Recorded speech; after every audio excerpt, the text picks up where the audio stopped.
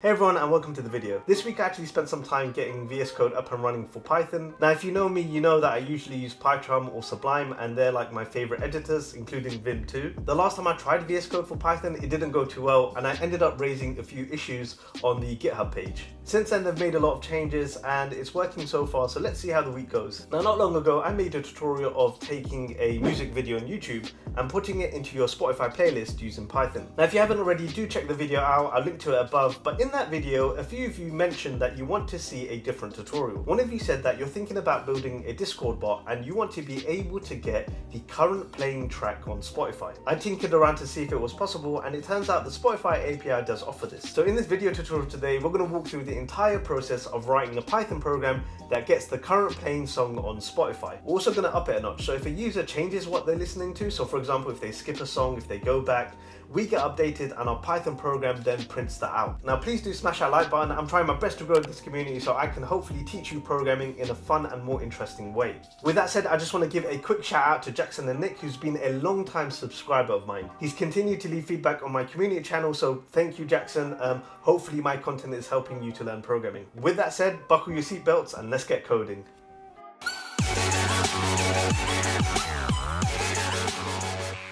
Right, so the first thing we're going to do is we're going to have our classic if name main check and essentially this is just going to tell Python where to start the program. So uh, we'll create a function called main and then up above here, um, I'll leave it empty for now. The first thing we're going to have is a variable called current track info and what this is going to do is it's going to call a function or store the results of a function called get current track and get current track is only going to take one argument, and that is going to be the Spotify access token.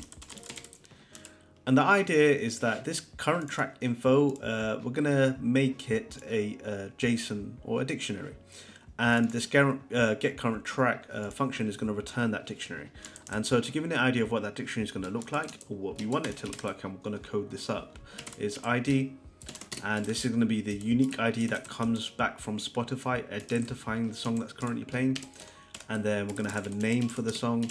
Um, so that's let's just say the song's called Numb and then the artists um, because you can have one or more artists for a song uh, but in this case Numb only has one artist and that's Linkin Park. So the idea again is just that we're going to have a dictionary um, and the get current track is going to return that and we're going to store that in current track info. So let me get rid of this and what we'll do is in this program we're just going to print it out using pprint. pprint stands for pretty print and it's a nicer way of printing out dictionaries and so I quite I use it quite often actually and I'm going to pass in another argument called indent and I'll give it the value 4 and essentially what this is going to do is going to print out the dictionary in a nicely formatted way and we're going to make sure we indent or the keys are indented uh, by four uh, spaces. So I'm going to import pprint from above.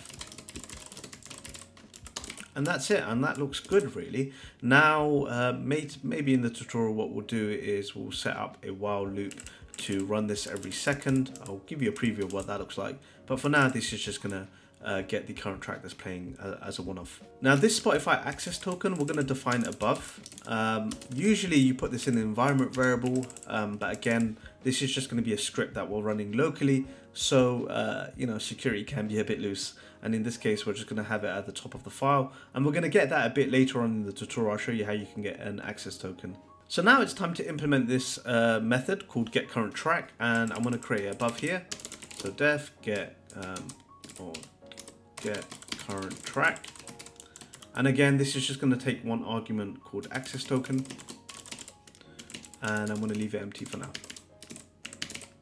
Now, the way the get current track is going to work is we're going to issue out a request to the Spotify API. We're going to give it the access token. We're going to get back the data. And then what we're going to need to do is we're going to need to process that data because it's, you know, it's, as you can imagine, it's in a format that we're going to need to make a bit more friendly for the purposes of this program. So the first thing that we're going to do is we're going to create a variable called response and that's going to store the result of uh, calling out to the Spotify API and we're going to use the request library to do that. So I'm going to import request above. Let's do that, request above. And then request and then the type of request that we're going to issue is a get request and this is going to call out to a URL which we'll call uh, Spotify. Get current track URL and this one we're going to define above and we're going to need to get that from a documentation so we'll get that in a second. To pass in the authorization we're going to pass in the headers or value for the headers parameter. And this takes a dictionary and it's a number of headers that you can pass in. Well we're going to pass one which is the authorization and the value of that is going to be equal to i'm going to set equal to an f string because it's nice um, and then it's going to be bearer space the access token and this is where the f string quite cool because you can just pass in the braces you pass in the access token and Python will substitute that into the string for you. So that looks good really, that's really the basis of our request. And the next thing uh, that we want to do is we want to pass the response. Right, and so the next thing we want to do, given that it's a JSON response, and it's quite handy, we're going to make use of a function that's provided by the request library. So first of all, we're going to create a variable called JSON. It's shorthand for response JSON. And whenever you make a, uh, or whenever you make an API call using the requests library, so if it's request.get, post, whatever, um, it gives you back a response object. And that's really handy because on that response object, you have a method called .json, right? So again, I've stored the, uh, the result of request.get in this variable called response. And then on that, you have a method called .json which essentially will give you back a JSON uh, response. And it's quite nice because essentially it's a Python dictionary that you can work with and it just makes it easier to process. Right, so I've switched over to the Spotify documentation because I want to show you uh, the method that we're going to use, um, so the endpoint we're going to call, and more importantly, the response that we get back because we need to understand the structure so that again, we can you know write the code that's going to be able to process that response uh, accordingly. And then the next thing we want to do is we want to scroll down a bit. Now I've clicked try it, which allows you to be able to, you know, execute a request on this web console and see the data that you get back. So you don't actually need to write any code here. It's quite handy. And as you can tell, I've got this response. I've got a song currently playing on Spotify on my phone. And as you can tell, it's got a bit of information about the device. So currently I'm playing a song on my iPhone. And so it tells you a bit more about the device that's playing the song and then here you can sort of get an idea of like um, the shuffle and the repeat state so shuffles on. And uh, more importantly you've got a key called item and this is essentially where it has all the data about the current playing song. Now as you can tell within that you have another dictionary so as you can tell there's a lot of nesting going on. Um, but in here you have an album but we don't really well we're not really bothered about that. What we're looking for is essentially an id so we've got an id here that's quite cool um, and then we've also got a key artist, so that's going to be handy because we want to be able to see all the different artists for a current song. So as you can tell, um, for this song, there are a couple of artists, uh, so that's good to know because we're going to need to uh, join, or we're going to need to be able to, you know, join all those artists together and put it into a string uh, that we get back. And then that's about it, bar one more thing, of course, which is probably the most important thing, which is the name. Uh, so that's the name of the song. And then what we might do actually is we might also make use of the uh, href or the uh, external URL. Actually, the external URL probably makes more sense because this is a link out to the song. So what we'll do is we'll get the current playing song and we'll also print the link out uh, to that song so that we can click it and open it uh, just to look. So that's given us a good idea of exactly what the structure of the response looks like. Let's get back to the code editor where we're going to start parsing uh, the response and then build up that dictionary that's going to have all the details about the current playing song. Right, so I'm back here and what we're going to do is we're going to start off with uh, the kind of dictionary that we want to return. So we're going to call this current track info. And then this is going to be a dictionary and that's going to have the ID and the idea is that's going to um, uh, correspond to the track ID. We're also going to have the name of the track, so I'll put name here, and that's going to be track name. Uh, and then the next thing that we're going to have here is the artist. So again, as I mentioned, you're going to have multiple artists, right? So we're going to need to be able to return back. Let's let's return back the name of the artist. I think that makes sense uh, for this program. I think that's good enough. And then the last thing is the link. And again, this is going to correspond to the link uh, that um, Spotify use uh, to uh, point to the song. Cool, so this gives you an idea of what we want. So now let, we're gonna have to actually do some processing here uh, so we can get all of these uh, lovely variables. Right, so some of these are quite easy to get hold of. So the track ID again, we saw um, earlier on that it's in the response. So I'm gonna copy that here, response JSON, and it's under item followed by ID. So, you know, that's quite straightforward. Um, track name is quite similar um, to in that it's under item name.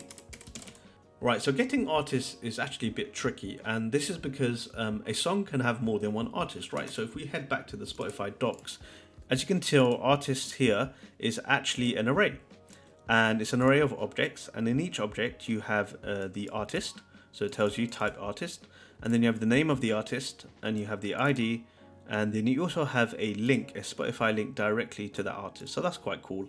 So heading back to the code editor, what we want to do is we want to get the name for each one of the artists. And I think a nice way, so here we've got artist name, actually that should be called artist name. Um, essentially this should be something like, um, I think it'll be nice if it's something like, you know, Linkin Park and then Jay-Z. So it's essentially a comma separated uh, string. Um, and what that's going to do is if a song has multiple artists, you know you, it's comma separated. And so I think that'll be quite nice because again when we print it out we can clearly uh, see that uh, that given song has uh, more than one artist. So to actually make this happen let's get rid of this. And the first thing we're going to do is we're going to have a variable called artists. And this is going to be uh, it's going to be the response JSON item artists. And again uh, switching back to the Spotify documentation as you can tell here it's an array and so this is going to be a array of artist objects and then for each artist object, what we want to do is we want to store it into uh, in a string, right? And so the way you do that, and it's quite handy in Python, you have a nice way. Um, so I'm going to call this artist name. So I'm going to get that from down below here, artist name. And then we're going to make use of the join function. So the join function, the way it works is you give it a character. So here I'm given a comma followed by space. And then you call dot join on the string and then you give it an array. So I'm going to give it artists. Uh, I'm going to give it artist. Going to a, a list comprehension, and that's going to be artist name for artist in artists. Right. So it's a bit of a mouthful there. Um, and that might not be the easiest thing to see. So I'll put that on a separate line. Um, so let's go through this.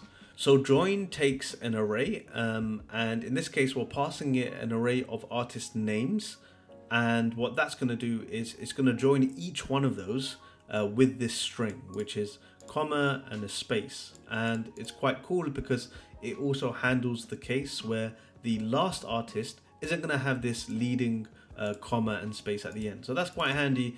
It's a, it's a common function used in Python when you have a list of things that you want to print out in um, uh, comma separated. And so join's quite handy for that. And the reason why we're doing the list comprehension here uh, in all fairness what I could do is I could make a variable above put artist name but I think this is quite clear. I mean well it's easy to see what's going on and I think it works well for this program. So again artists um, actually this should be called artist names. And then I'm going to copy that down below here. And I think that looks good Right, and so the last one is going to be link, and link is going to be a link to the song, uh, the Spotify link to the song. And again, we can find that in JSON uh, or response JSON.